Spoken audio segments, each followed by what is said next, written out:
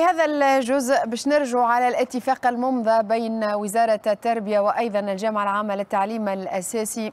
باش نحكيو على الموضوع بحضور رياض بن بوبكر مدير عام البرامج والتكوين المستمر بوزارة التربية. مساء النور. مساء النور. تحية ليك وتحية للسادة المشاهدين تحية لضيوفك أيضا. شكرا لك على تلبية الدعوة. تقرير لرحاب حواث ثم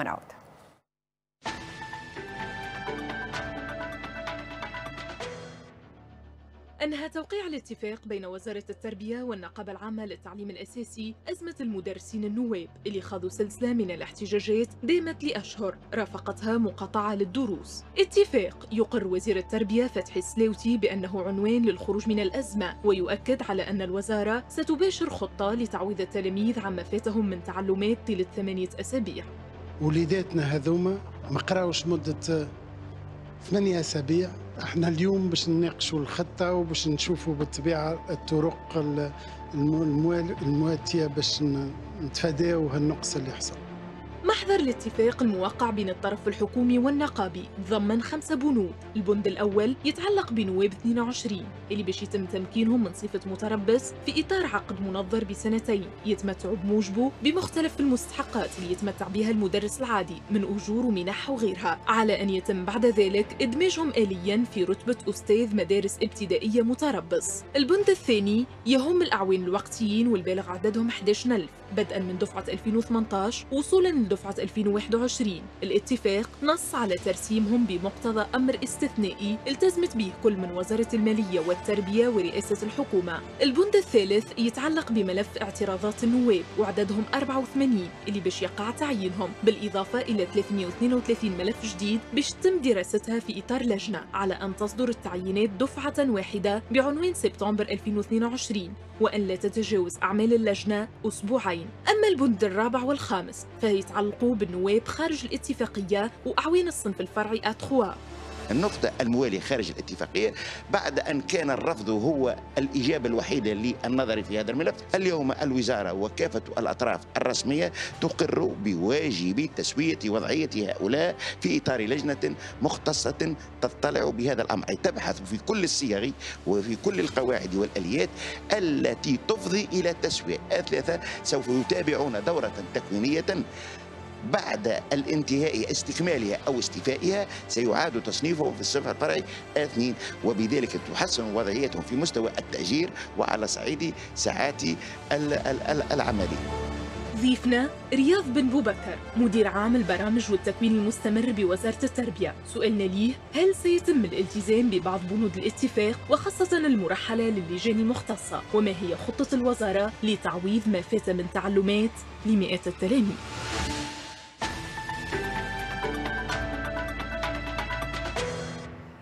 مرحبا بكم من جديد. رياض بن بوبكر مدير عام البرامج والتكوين المستمر بوزارة التربية.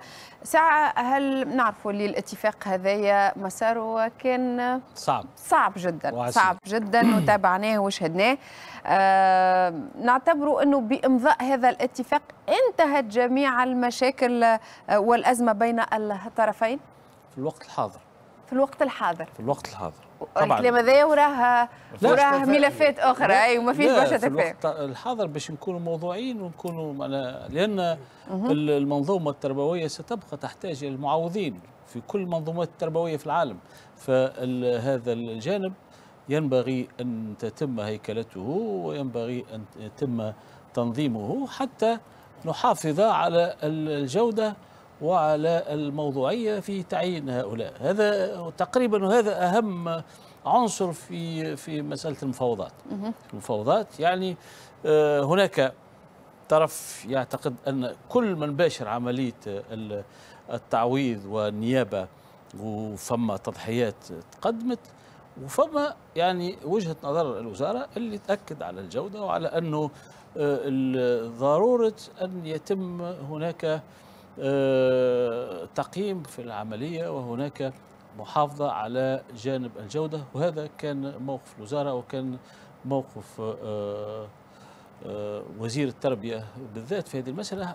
وهذا ما جعل الحوار في بعض الأحيان يكون عسيرا. وفي الأخير تم تحكيم العقل وكان هناك من الحكمة لدى الجميع. لدى جميع الأطراف التي تدخلت في جميع المستويات في مختلف مستويات الدولة حتى آه، تم الحصول على ما يمكن الحصول عليه من جميع الجوانب سواء بالنسبة للمدرسة العمومية أو بالنسبة إلى النواب. ولو إنه سمعنا العديد من المربين والنقابيين آه، اللي ما همش راضيين برشا على فحوى هذا ال- الاتفاق في العديد في- من النقاط اللي فيه. في كل يعني ما كانوش راضيين. حتى على ال- الجانب النقابي اللي مشى وتفاوض. إيه، هذا علاش ال- ال- المفاوضات كانت عسيرة وعسيرة جدا. كانت عسيرة وعسيرة جدا لأن الانتظارات ال- الأخوة النواب كانت انتظارات يعني آه، كبيرة وكانت انتظارات آه، في- مستوى آه، ما قدموه من تضحيات للمنظومة وهذا نقر به الناس الكل نقر به هذا ولكن الوضع الحالي للمالية العمومية والوضع الحالي لما هي عليه آه، ال- الوضعية الاقتصادية للبلاد جعل ال- الحلول تأتي متدرجة وب بالتدخل الذي تعلمونه جميعا سواء مستوى رئاسة الجمهورية أو مستوى رئاسة الحكومة أو مستوى الهيئة العامة للوظيفة العمومية أو مستوى وزارة المالية. آه، كل الأطراف الحقيقة تدخلت باش آه، نحققوا أقصى ما يمكن تحقيقه في هذه المرحلة. لعل السؤال اللي يطرح توا واللي يستناو فيه ال- التلامذة والأولياء الكل. كيف سيتم التدارك ساشون اللي فات؟ راهو مش شوية برشا. آه، الناس كل على وعي أن اليوم الأضرار حصلت. والأضرار ما هيش يعني ما هيش هينة. آه، لكن نحن أيضا على وعي تام بأن التدارك يعني أمر آه، ينبغي تحقيقه. وهو أمر ممكن إذا كان ننطلق حالا وإذا كان يستجيب إلى شرط التفريق في العملية. لأنه ما مش نعملوا un travail systématique الناس كل لأنه فما مؤسسات فما تلامذة ما تمسوش الواقع. لأنه ال- العديد من المدارس داخل المدرسة الواحدة هناك فصل وفصل فصل تم الغياب عليه وفصل يعني ما ما حصلوش حتى غياب في ساعة. وبالتالي فالتدخل بتاعنا باش يكون تدخل بحسب الحاجة وبحسب الوضعية متاع تلك المدرسة. وانطلقنا. نحن كنا نعد خطة حاضرة الخطة وكنا نؤجلها بحسب الوضع اللي قاعد يتأخر. كنا نتصور بعد العطلة مباشرة سننطلق في هذه الخطة آه، التأخير هذا تو أسبوع ومشينا في الأسبوع الثاني. يعني آه، نغيروا ونحينوا وقاعدين نعملوا فيه تشخيص باش نعرفوا في كل ال- الفصول التي تضررت من هذا التأخير. شوف إحنا آه، نقولوا للأسف ولكن آه، اكتسبنا تجربة بالكوفيد في مسألة التدارك. ولكن في الكوفيد ضغطنا على البرامج وكيفنا البرامج وقمنا بتخفيف البرامج.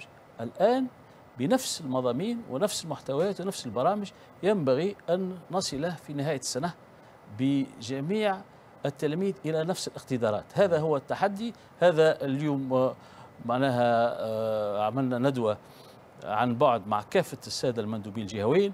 اجتمعوا بالسادة المتفقدين. قاعدين يجتمعوا بالسادة المديرين. ونحب نعملوا خطة في ال micro système في بالنسبة لكل مندوبية ولكل آه، مؤسسة تربوية بالتنسيق مع السادة المتفاقدين والسادة المديرين. وأنا اللي شفته اليوم على عيون ال- آه، الأطراف النقابية هناك استعداد الحقيقة أن تتجند جميع الأطراف.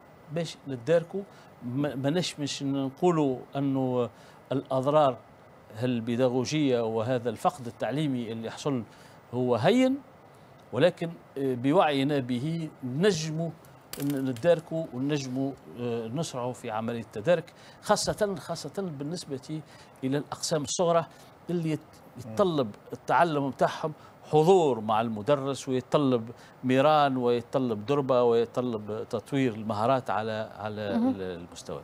على مستوى في مستوى الفصل وفي مستوى ما ينبغي اكتسابه في آه، داخل الفصل. استئناف دروس باش يكون انطلاقا من الغد؟ والله آه، فما اليوم شكون استأنف الدروس فما شكون آه، معناها استأنف من البارح فما شكون مش يستأنف غدوة. يعني آه، هناك عودة إلى الدروس رغم آه، ماهيش الناس كل راضي على هذا الاتفاق. المهم العودة جماعية. لا العودة جماعية. هي جداول الأوقات من طبعها موجودة. وقع الإشكال ولكن جداول الأوقات حاضرة هي المعلمين. الجداول الجداول حاضرة وفما شكون انطلق في السنة الدراسية ثم انقطع السنة الدراسية. أنا حاب نمشي لنقطة أستاذ. قضية هالمعوضين هذه في قادم السنوات. أنت نفسك قلت حلت الآن مؤقتا نقول. وأنه لا مناسة من الاعتماد عليهم. كيفاش باش يكون في المستقبل؟ نعاودوا نجيبوا ناس نعوضوا يقعد عام اثنين ثلاثة إشكال. أو من الأول نحطوه قدام الأمر الواقع أو ما هي الآلية اللي تشوفوها باش ما نعيشوش في السنوات القادمة. مشكل من هذا القبيل هما زوج إشكاليات. هي إشكالية الأولى هي إشكالية الانتداب. إحنا قبل 2007 ما كانش عندنا حتى إشكال. قبل 2007 كانت عندنا من أقدم منظومات تكوين مدرسية الابتدائي. من 1875 تأسست مدرسة ترشيح المعلمين بتونس.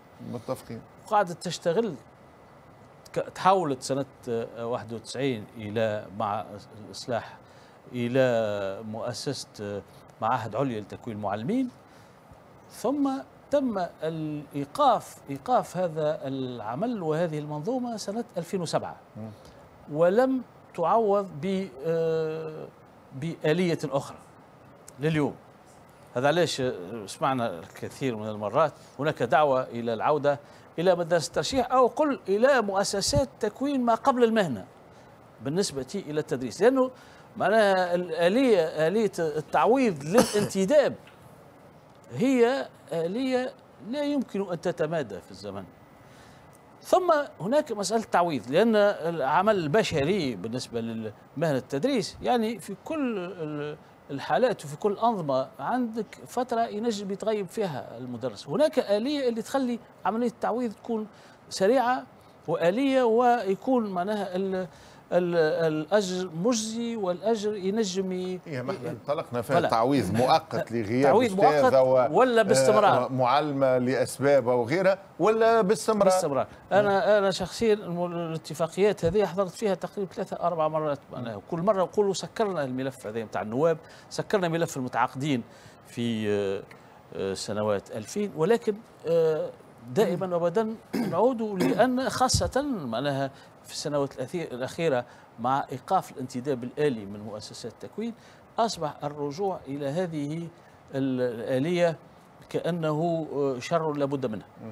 آه، ينبغي مزيد التفكير في هذا وهذا ملف مفتوح والوزارة آه، مفتوح فيها الملف هذا سواء بالنسبة للابتدائي أو بالنسبة للثانوي وهو من الملفات الكبرى التي ينبغي النظر فيها حتى نجنب أنفسنا الوقوع في مثل هذه المطبات.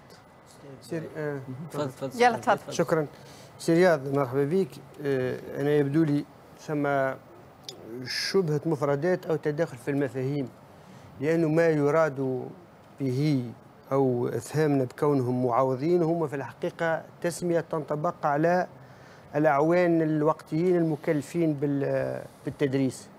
على اعتبار انه المعاوض كما قال لك سي خليفة من بكري الأعوان الوقتيين بعد ما ياخذ فترة إيه نيابه إيه. بعد ما ياخذ فترة نيابه يصبح عون وقتي. اللي يوصل العون الوقتي هو, هو عبارة تم انتدابه justement لا مش عبارة يا تم انتدابه يا كما ثماش عبارة منتدب. أنا ما نجمش تلقى في صفتي المهنية عبارة على منتدب. يا أما صفتي واضح أستاذ تعليم مدارس ابتدائية أو عون وقتي مكلف بالتدريس.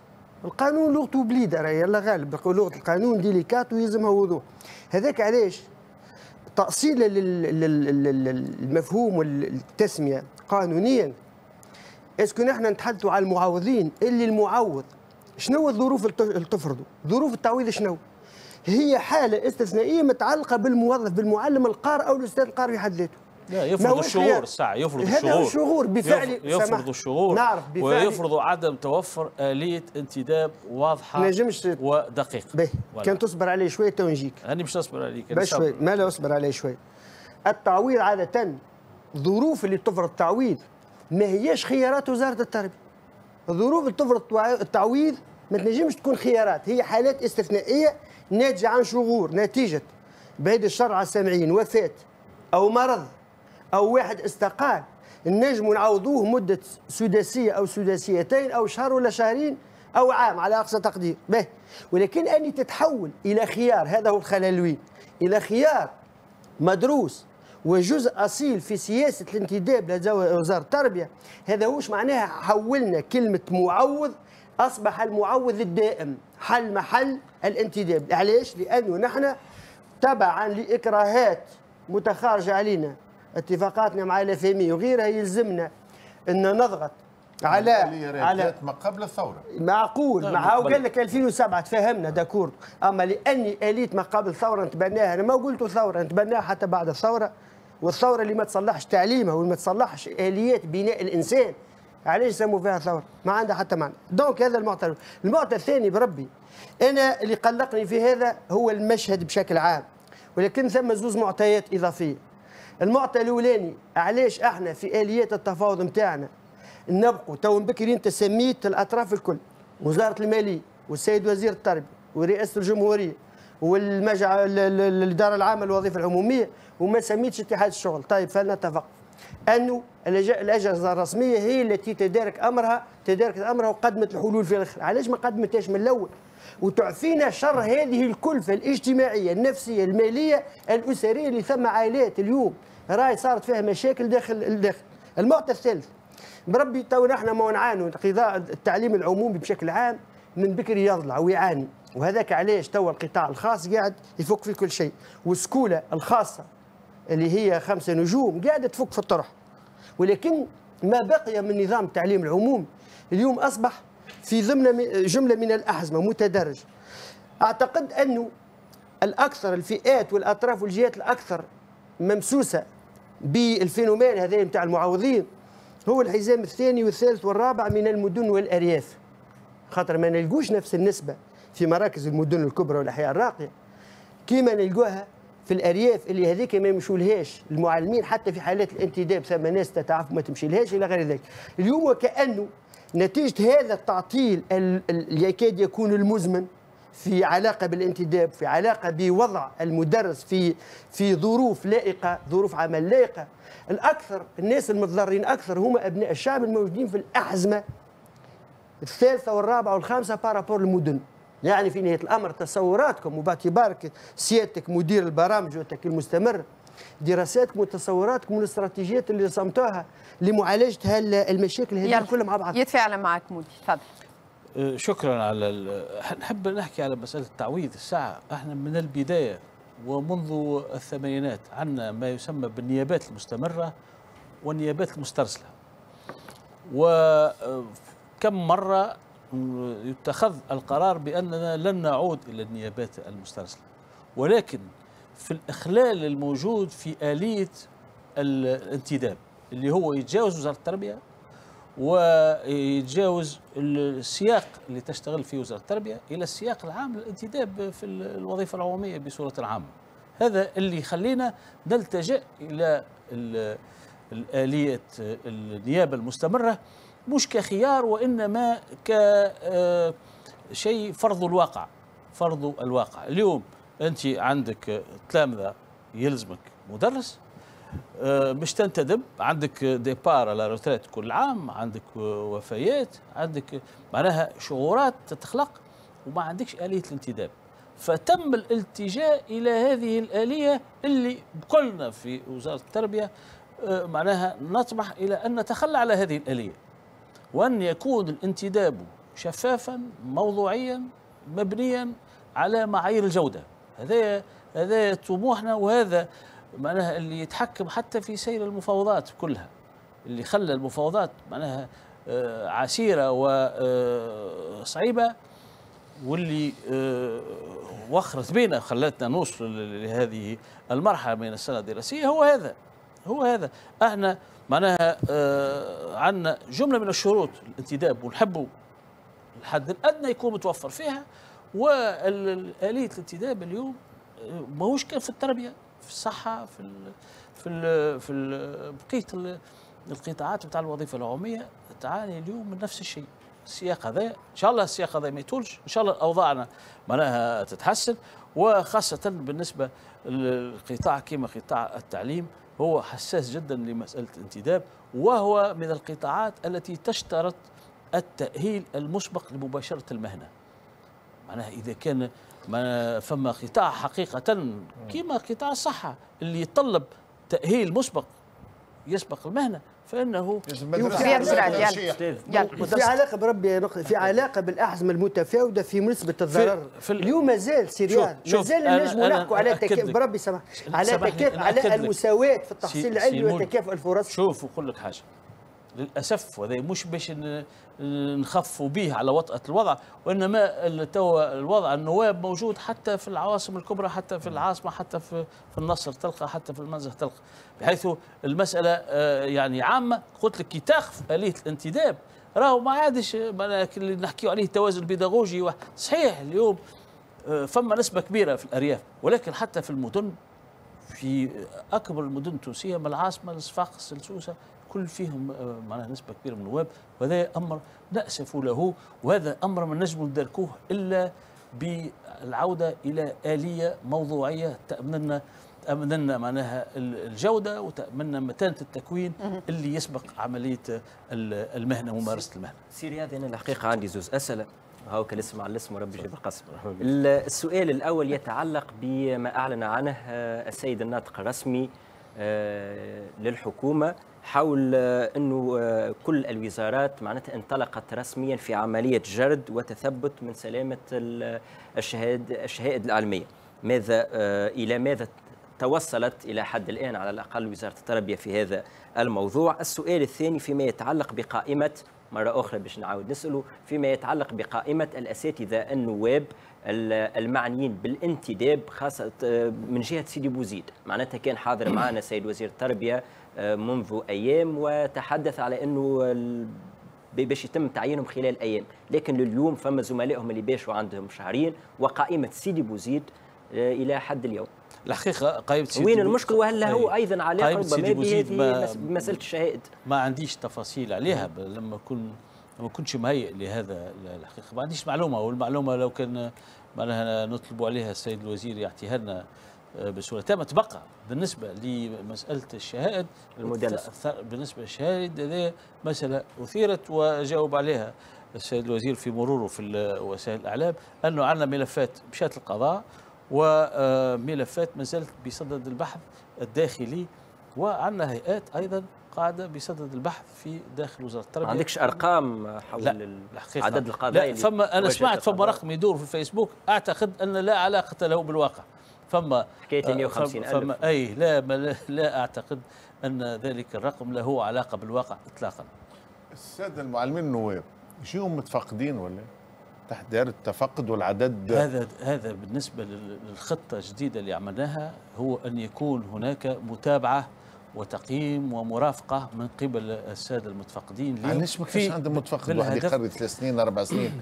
معناها خاطر المتفقد العلاقة بين, بين المتعاقد أو النائب وبين المتفقد كانت فيها شيء من الضبابية. حقيقة فالمفاوضات هذه توضحت المسألة وبما أن إحنا هذاك مصيرنا أنا مش نخدموا توا بالنواب وذوكم مدرسين الحالي الاصل يشوفوا الحاليين والمستقبل. له الأداء هذا تم الاتفاق عليه وهذا باش يكون معناها من الآليات اللي بتاع آه، باش نداركوا بها وباش نحسنوا بها المستوى وباش نطوروا بها من الأداء بتاعهم. النقابة موافقة على هذايا متبنية هذا والوزارة ستكثف من المتابعة بهذه الآلية والمتفقدين ديما هما ذراع الذراع البيداغوجية للوزارة. قعدنا نحكيو على العلاقة مع الجامعة العامة للتعليم الأساسي لكن أيضا الجامعة العامة للتعليم الثانوي تقرر حجب الأعداد عن الإدارة عدم تنزيلها بالمنصة الرقمية مدها فقط للتلاميذ. هذا ملف آخر أيضا. إحنا آه، بالنسبة للوزارة تعودنا إحنا أن نشتغل في الأزمات ونشتغل في ظروف صعبة خاصة في العشريه الأخيرة. الحقيقة تذكر معناها اللي شفناها مع بعضنا.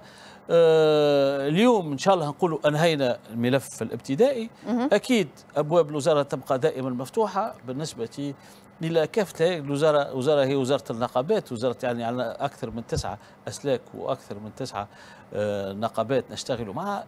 كلهم عندهم طموحات كلهم عندهم آه، أجندات. نشتغل على أجندة على مطالب التعليم الثانوي. التحرك متاعهم يعني اعتقادي أنكم سمعتوا به. إن شاء الله إحنا عندنا على كل حال بالنسبة للاتحاد العام التونسي الشغل عندنا تقاليد في التفاوض. وفما شد وجذب ديما ولكن دائما الحكمة تغلب هنا وهناك يعني في جانب الوزارة وفي جانب الدولة من ناحية وفي جانب الاتحاد العام الشغل زاد فما ناس. حكماء اللي نوصلوا معاهم إلى الحلول مهما استعصت ومهما تعاظمت الأزمة شكرا رياض بن بكر مدير عام البرامج والتكوين المستمر شكرا. بوزارة التربية بعد شوية نستقبل النشط السياسي قيس القروي فصل ثم نعود